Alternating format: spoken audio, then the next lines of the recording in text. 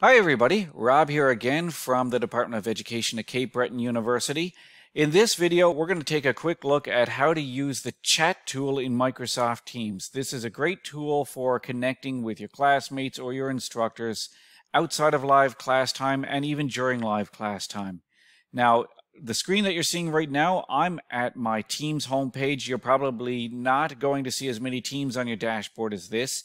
If I want to start a new chat with anybody at any time, I can go to the chat tab over here. It's on the left hand side. You'll see a link called chat. I click on this and now you can see my chat history. I have a whole bunch of different chats uh, here, all the chats that I've participated in over the past couple of months, uh, including one today that I've participated in with my colleague from the CBU library, Laura Symes. Now I'm going to start a new chat with Laura and Laura is actually on the line with me now. You can see her up here in the in the window that she's in a Teams meeting with me right now. We're going to start a new chat and you're going to see the difference between how to do a normal chat, how to do some threaded replies, and uh, how to access the chat tool in different ways. So to start a new chat with anybody, you want to look for this icon up here which says new chat.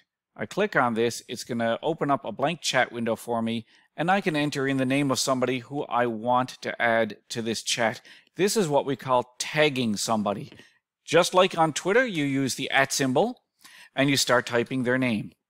So in this case, I'm looking for Laura, and all the Lauras who are in the system come up. Laura Symes comes up first because I have been in contact with her recently.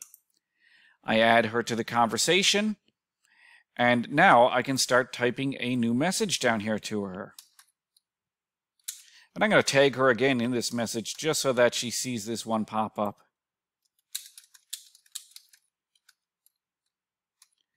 And I hit enter and it sends that message. So hopefully Laura is going to respond to me in just a moment.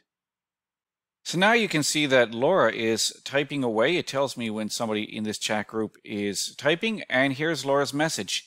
Now, if I type another message in here, I can type her name. Uh, if I don't use the at symbol, it's not going to tag her. It will just have the message.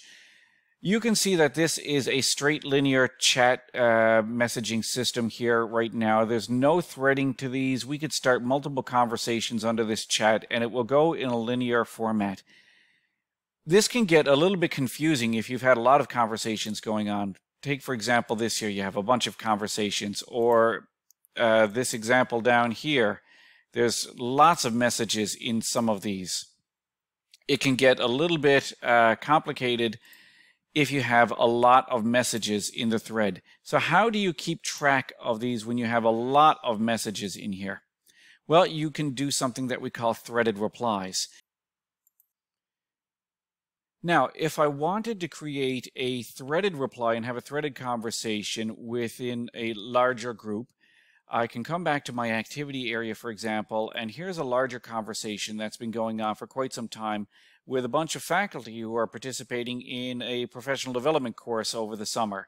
So I'm going to take my friend AJ here now and I'm going to give him, rather than using the type a new message down here, which is going to create these linear uh, messages, these linear replies, I'm actually going to click the reply button to, uh, to AJ here now.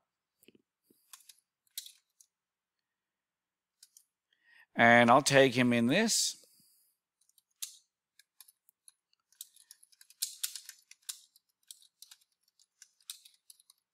And I'm going to let him know that he can ignore this message.